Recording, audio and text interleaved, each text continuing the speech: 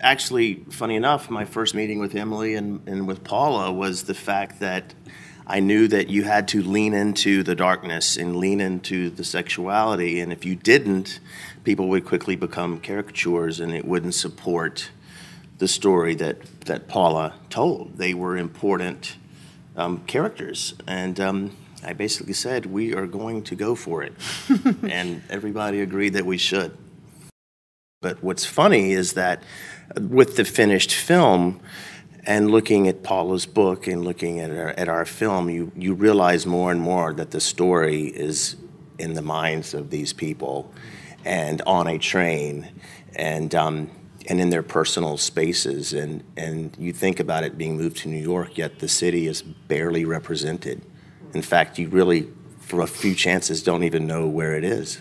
And I think Emily um, with our decision to keep her accent as it was, I even found it to add more to the isolation that this woman is feeling. And for me, you think about this woman at the, at the bottom of the barrel and broke and how far away she is from home. You know, it, you bear it in mind, but then you just, as I stated earlier, you really, really focus on the characters and their work and uh, to where you make the characters so compelling. Although this is a thriller and you're trying to figure out what happened, uh, if the characters are so strong and so deep and compelling as all these wonderful actors made them, not that you're forgetting that you're trying to figure out who did something, but it's it's it's parallel with the inner struggles, and I, I just we just focused on the truth, and the truth often trumps the the device of a movie. You know, we of course in preparation I went to the the usual suspects for inspiration. Um, Hitchcock, Bergman, a lot of wonderful films. But I had a, a wonderful collaborator with Charlotte Bruus. Um, that's not how you pronounce her name. I don't think anyone can. Charlotte Bruus. That was Cha- no, Charlotte. And uh, we had a lot of discussions about a mood and tone and the depth, the color, and um, and really it boiled down to camera work representing each character. Um, we're in Rachel's head. We don't know if what she's thinking or saying is is right, and that lent itself to a lot of handheld work and close-ups. A lot of close-ups in this film because we are in these people's heads, and it just it didn't it didn't really merit the sweeping wide masters and the traditional camera work. It, it just wouldn't support the material.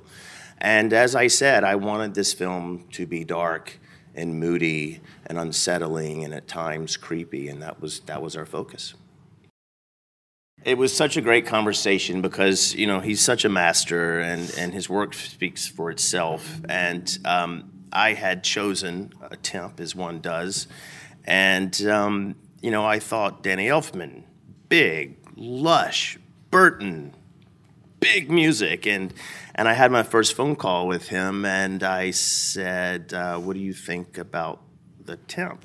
So a lot of it was synthetic and he said I think it's exactly what needs to be done and I don't get to do this very often because everybody wants Danny Elfman. And uh, we had a blast we took chances. I said, go as crazy as you want, and then we'll just dial it back in. And, and he was just, he's fantastic. And became a great friend as a result.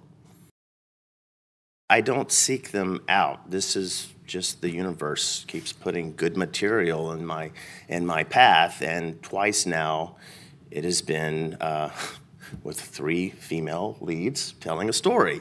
Um, but I do think that female characters um, they have more going for them in a way in which, based on your questions for Paula and, and for Emily, there's all, there's more there's challenges that women face that men don't, and with that set of challenges in the real world put up against a character with the challenges in their story, you can't help but compound them, and I think they're just more interesting. And often I've been presented with material to direct, and I've often said, "What if we make her?" A woman. And I did that with Allison Janney's character as Detective Riley. And she, I put her in everything, and she's great. And sorry, Paula, but but it's true. I, I, I guess I just corrected myself. I do like female characters, perhaps hmm. more, except for Luke.